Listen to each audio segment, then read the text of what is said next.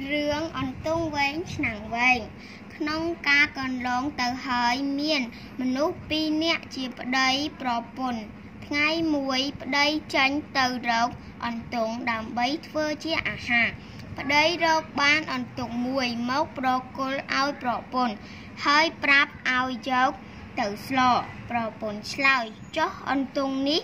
វែងម្លេះបានឆ្នាំងវែងពីណាមកស្ងោអន្ទង់នេះបាន ប្តីឮហើយនឹកថា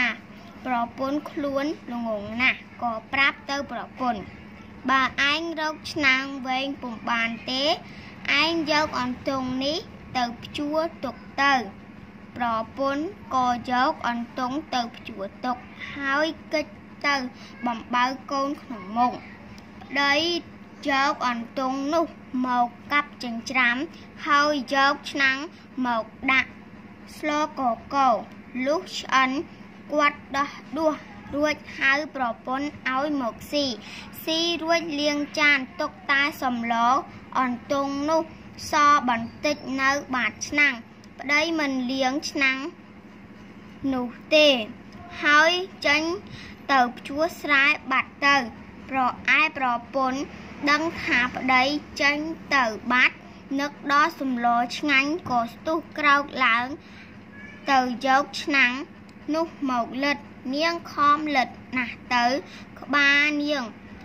ចូលទៅក្នុងឆ្នាំងក្របជាប់ពីលើមិនដឹងធ្វើដូចម្ដេចនឹងយកឆ្នាំងចេញបានក៏វាទៅពួនក្នុងមុងប្តីត្រឡប់មកលុះប្តីត្រឡប់មកពីជួរស្រែវិញរកប្រពន្ធមិនឃើញក៏ស្រែកហៅ ស្រាប់តែឮសំឡេងឆ្លើយរៀងកងួវល់គាត់នឹកសង្ស័យក៏ចូលទៅបើកមុងមើលឃើញប្រពន្ធជាប់ក្បាលនៅក្នុងឆ្នាំងគាត់ជោកដំបងវាយឆ្នាំងនោះបំបែកប្រពន្ធលន់មាត់ស្រែកយ៉ាអញពួននឹងគាត់ឯងសោះប្តីនឹកអស់សំណាច់ក៏ដើរ